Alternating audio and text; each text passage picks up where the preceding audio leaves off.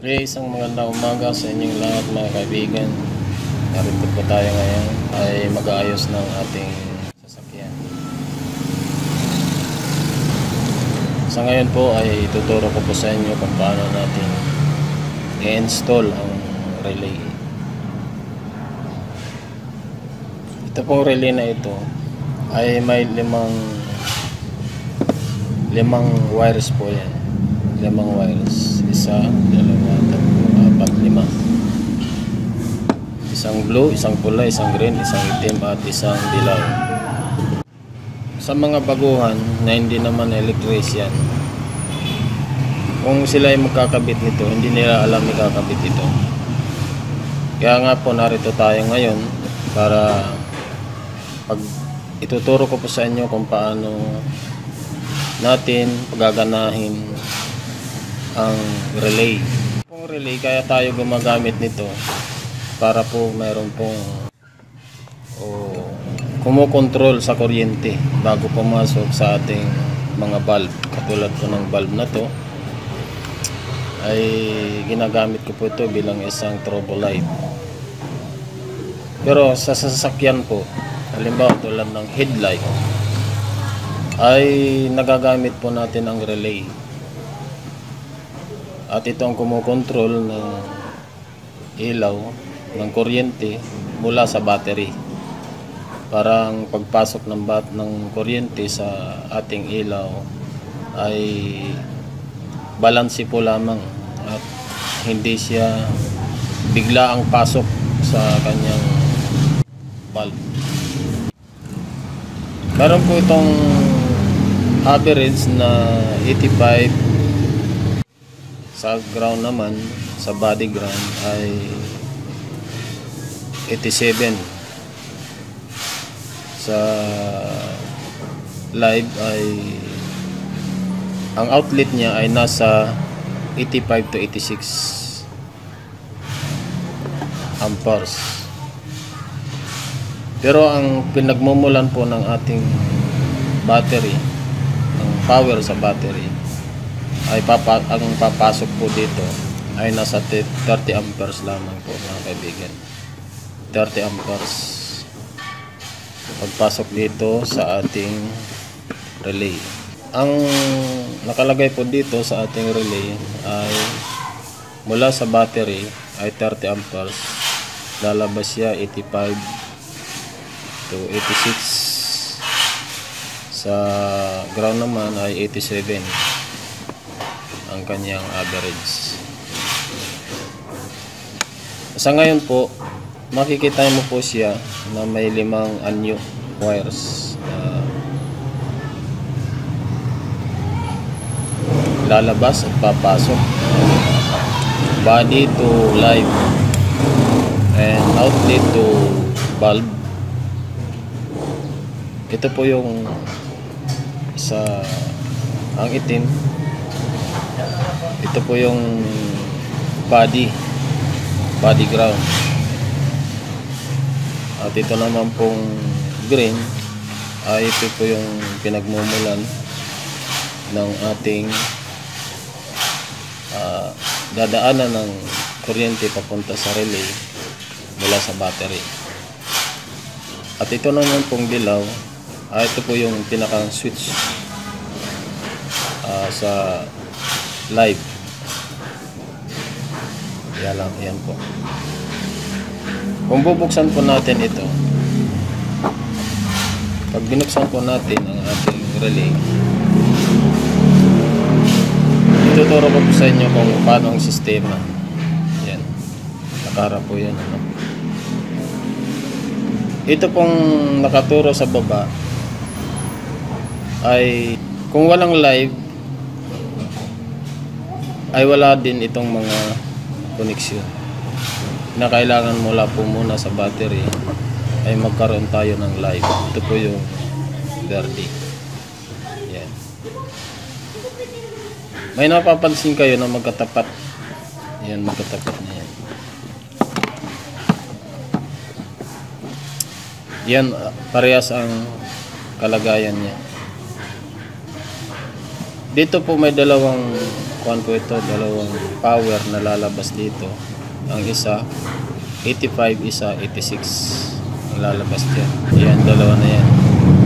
At ang kanyang wire dyan ay isang blue at isang red. Yan. Dapat yan magkakabit dyan. At yung isa naman po, ito yung tinatawag nating ah, parting, kung nakahiga ay parting kanan. Yan, yan ang body ground. At ito naman po yung ah, kalimitan ginagamit nating switch. Live po yan. Kinakailangan kung gagamit ka ng switch dito sa live. Pero may optional po tayo. Ang kalimitan pong ginagamit kong switch ay itong ground. Itong body ground. Kasi kalimitan kapag ito ang gagamitin natin, minsan po nasisira ang ating switch. Ang switch po sa natin dito ay ganito lamang po ang ating switch. Pero kalami, kalimitan ginagamit ng iba sa headlight. Yung switch na malaki na hinuhugot natin. Pero sa ako naman, kapag gumagamit ako ng switch, ay body ground ang ginagamit ko. Kasi kapag ka body ground, wala pong tendency na maaring masunog ang ating switch. Hindi siya masusunog. Kung live po kasi ang gagamitin natin, kalimitan po niya nasusunog ang ating switch at masisira. Pero kung body ay mas tatagal po ang ating ah, switch.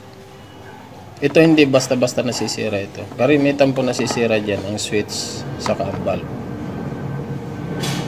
Po mga kaibigan. Sa ngayon, i-install na po natin. Siguro naman ay nakita na ninyo na itong itim ay sa body ground. At itong green ay sa live from battery. At ito naman ah, yellow ay switch from live. Ayan. Itong dalawa po na ito, ang ginagawa ko po dyan, pinagdidikit ko na lamang po yan. Ang pinagsasama ko po yan, dalawa na yan. At panoorin po natin kung paano natin i-install ang ating ah, relay. Unang-una po ay mapansin natin na itong ating relay ay mayroon po yung butas. Ayan. May butas po yan. At ang butas niyan ay itatapat natin doon kung saan ay naaayon ang ating mga plug. Itong limang plug na yan. Pasalpak na po natin. Siguro naman natandaan nyo kung, kung saan ang direksyon o saan ang koneksyon ng ating mga wire. Ulitin ko itong itim ay sa body ground. Body switch. Body ground. At ito namang dilaw o itong green ay sa live from battery. Live from battery. Kulay green po na yan. Yun po yung nakaturo sa baba na tinuro ko sa inyo kanina. Yun po yung 30 amperes. Kung mababasa kayo sa dito sa side na ito, may 30 amperes dyan. Yun po yung papun galing sa battery. Kailangan iyon po ang ikabit natin from battery.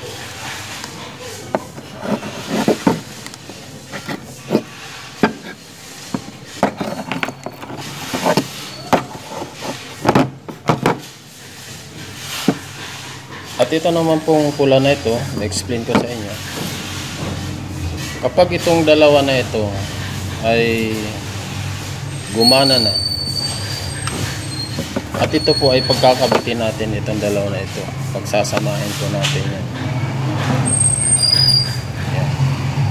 Pagsasamahin po natin yan mga kaibigan. Dilaw at green. Kasi po, ang kailangan ng dalawang ito ay parehas live na kuryente. Live power. At ito naman, itim, ito po yung body ground. At itong dalawa na ito, ito yung sinabi ko sa inyo na outlet o labasan ng kuryente. Nagkakaroon po ito ng kuryente. Dalawa na ito. Kung itong dilaw at green at itong itim ay ikakabit na natin sa battery. Yan. Kapag kinabit na natin itong dalawa na ito sa battery, magkakaroon na po ito ng power ang ating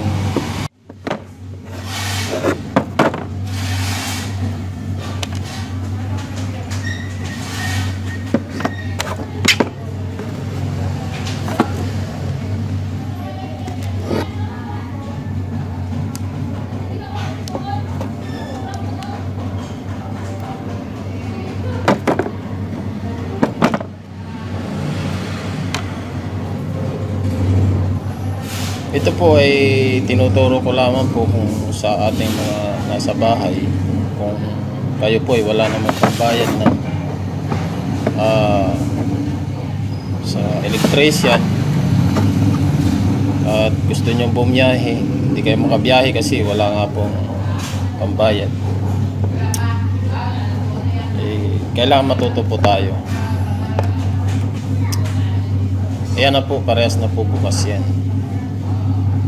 Iyan po, dalawa na yan. Gumagana po, po parehas yan. Yan, dalawa na. Ngayon, gagawin na po natin. Ikakabit na natin ang ating uh, lights. O ito muna ang ating ilaw. Kakabit na po natin ang ating ilaw.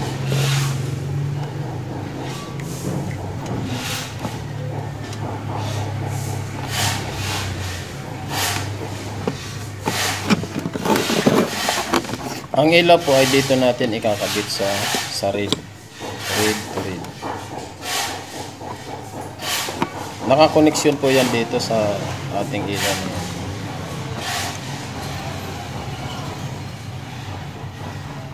At ang itim po nito, mapa- mapapansin nyo na may itim yan.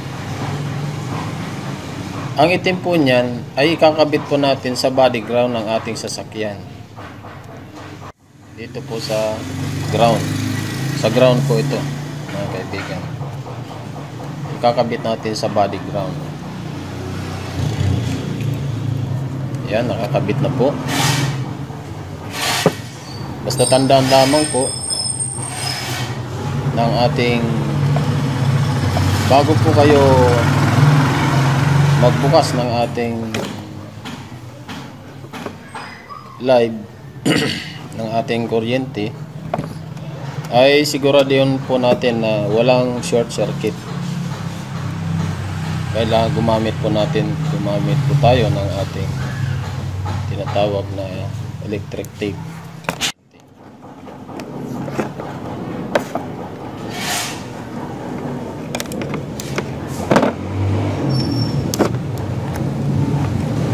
Yan po. Pagkatapos, ito naman po ang ikakabit natin sa ating switch. Ito yung switch natin. Ang switch pong ito ay nakakabit po ito sa ground.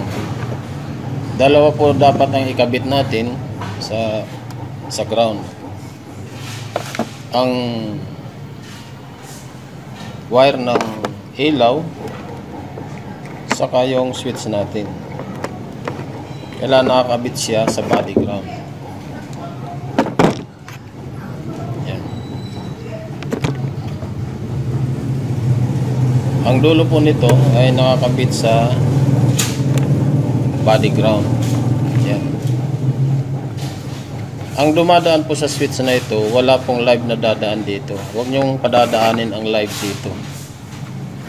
Kailangan, ang dumaan lang po dito sa switch na ito ay ground lamang po. Kaya ang gagawin natin, ikakabit na natin po ito dito sa kulay itim. Yan. At kung malayo naman po ang ating connection, dagdagan na lang po natin ang ating wire para umabot doon sa gusto mong dapat kalagyan ng ating switch. Yan. At lalagyan din po natin siya ng electric tape. Dahil kapag data natin lalagyan yan at dumikit sa ground yan, automatic bukas po ang ating ah, relay at gagana po ang ating ah, battery kung ito ay nakasusi. Pero kung hindi naman nakasusi hindi naman po gagana. Pero mas maganda po kung lalagyan po natin ng electric tape. O electric tape para hindi siya mag body ground kagad kung hindi naman siya nakaswitch. Po. Yan. Sa ngayon po nakakabit na po yung ilaw. Naka, nakakabit na rin po yung body ground. Ang kulang na lamang po ay itong ah, live. Ang live po natin namula po ito sa ito po yung live natin. Yan nakakabit po na ito sa battery sa ating 12 volts battery ngayon ikakabit na po natin dito yan. From battery. Yan kakabit po natin dito. At lalagyan din po natin ng electric tape para hindi siya mag short circuit kung magalaw man ang ating pag install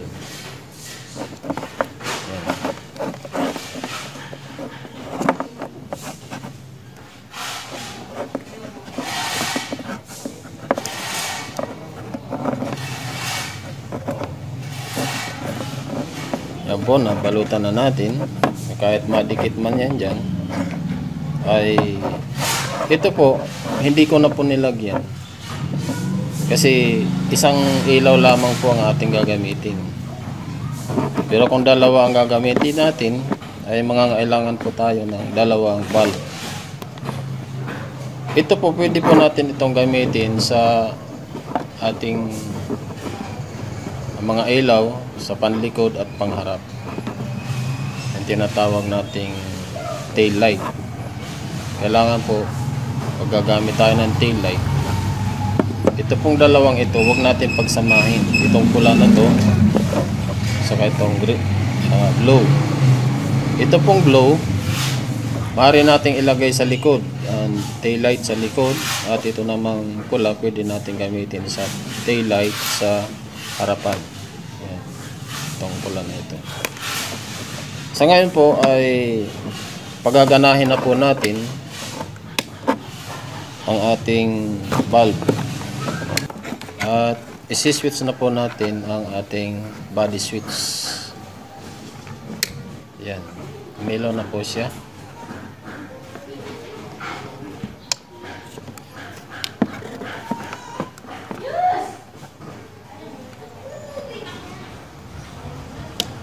yan i-on po natin ang ating switch. At iilaw po ang ating bumbilya. Yan po.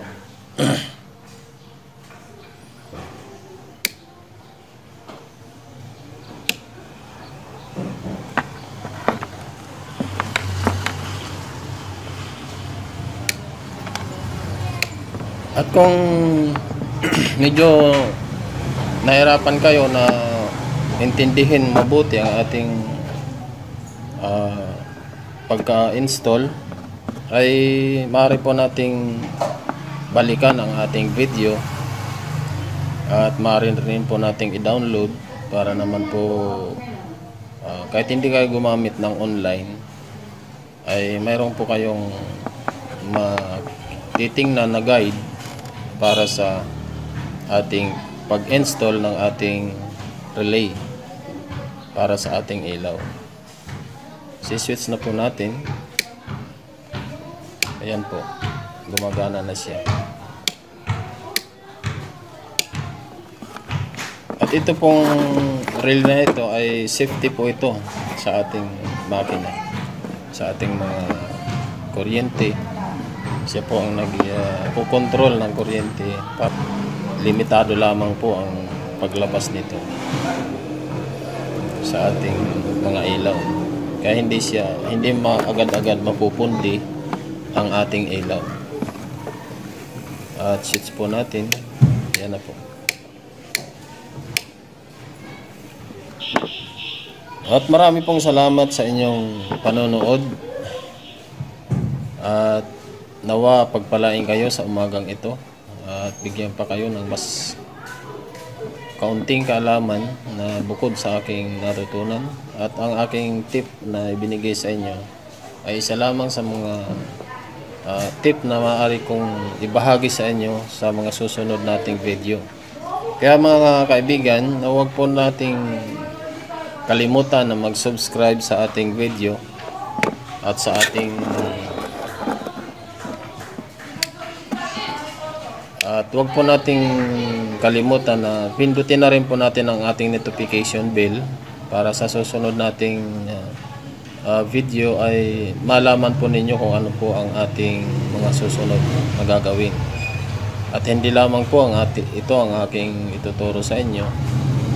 At marami pa po mga kaibigan. At God bless you sa inyong lahat. Pagpalain kayo sa umagang ito. Nawa ay magkaroon kayo ng kapayapaan sa inyong araw araw-araw na pamumuhay at bigyan kayo ng mabuting kalusugan sa araw-araw ninyong sa paggising ninyo, sa pagtulog ninyo, ninyo ay nawa ingatan kayo ng ating Panginoon. God bless you. Maraming salamat sa inyong lahat.